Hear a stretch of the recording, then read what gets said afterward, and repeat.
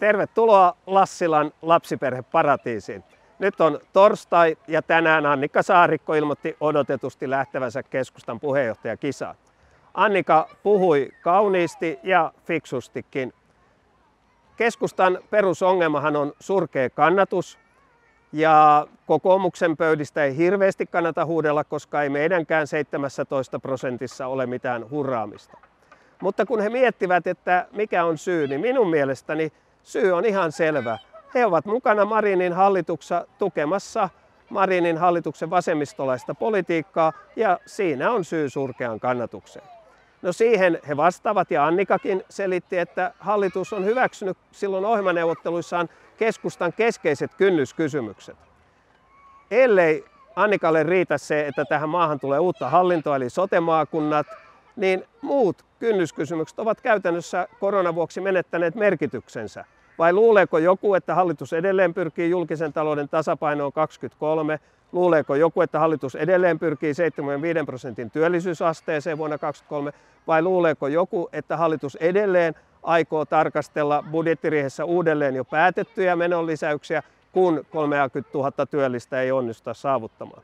Eli on itse petos Annika Saarikolta ja muilta keskustan johtajilta perustella vasemmistohallituksen politiikan tukemista sillä, että kynnyskysymyksiä hyväksyttiin hyvin hallitusohjelmaan. Muutama viikko sitten kokoomus ja Elina Lepomäki esittivät julkisuudessa, että ansiosidonnaista työttömyysturvaa saisivat kaikki työttömät ihmiset, eivätkä pelkästään he, jotka kuuluvat työttömyyskassaan, koska työttömyyskassat maksavat tästä kaikesta noin 5-6 prosenttia ja kaiken lopun maksavat kaikki työttömät, kaikki palkansaajat työttömyysvakuutusmaksuina ja myös veroina. Tätä kokoomuksen aloitetta asettuivat viime kädessä Maikkarin TV-tentissä tukemaan kaikki muut Suomen puolueet.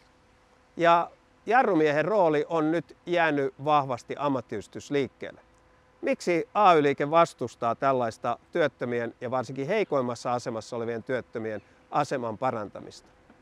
Vastaus on aika ilmeinen. Monet liittyvät AY-liittoihin sen vuoksi, että uskovat, että se on keino saada ansiosidonnainen, vaikka ansiosidonnaista työttömyysturvaa voisi saada myös liittymällä suoraan kassaan, eli olemalla liittymättä ammattiliittoihin.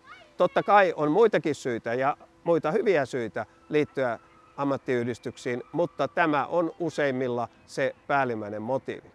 Nyt on mielenkiintoista nähdä, voiko ammattiyhdistysliike loppuun saakka vastustaa tällaista uudistusta, joka tekisi oikeutta ennen kaikkea niille nuorille, usein pätkätöissä oleville työttömille, jotka ovat ansiosidonnaisen ulkopuolella, eli jotka tänä päivänä eivät kuulu kassoihin. Tämä tällä kertaa. Moi!